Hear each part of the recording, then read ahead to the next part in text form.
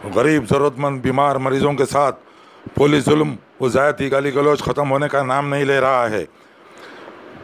शहर में कल रात भी डायलिसिस के पेशेंट, सीनियर सिटीज़न व मरीजों के साथ पुलिस का इंतहाई बेरहमाना सलूक।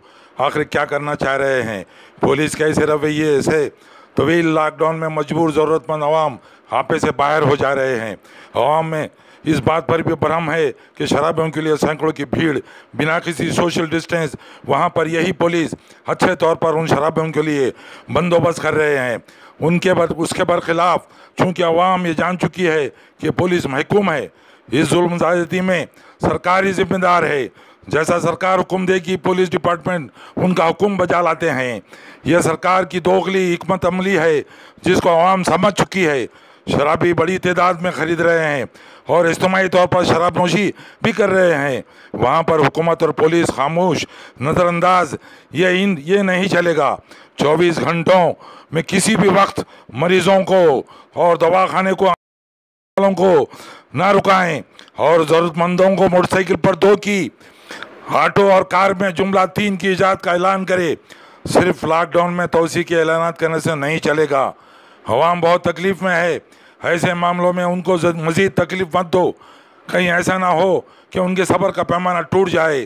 पहले ही वो बेरोज़गारी, माशी परेशानियों और फाका कशी से दो चार है।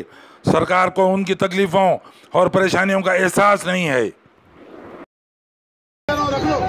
गाड़ी गाड़ी रख लेते बोल अब मैं कैसा जाऊँ रेल बाज़ार? रेल बाज़ार क्यों कहना जाऊँ अब मैं? तमाशा करके। केस बुक करो भाई। केस बुक करो कोई बात नहीं है। डबल जा रहे बोले केस बुक करो। हरासमेंट क्यों कर? हरासमेंट क्यों कर? गाड़ी दवा ले जा रहा हूँ। दवा ले जाने के बावजूद से पकड़ रहे इफ्तार के टाइम पे। क्या नाम? है सामान है। तो दवा इधर क्या नाम है? क्या नाम है दवा? है के क्या नाम है तुम्हारा? मोहम्मद असगर अली। मोहम्मद असगर अली। ऐसा एक के पकड़ ज़बरदस्ती बोलो रिक्वेस्ट आरसी बुक दे रहा हूँ रख लो। गाड़ी गाड़ी रख लेते बोल। अब मैं कैसा जाऊँ रेल बाज़ार?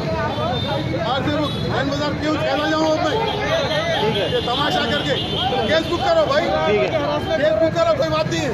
डबल जा रहे बोले केस बुक करो। हरासमेंट क्यों कर रहे हरासमेंट क्यों कर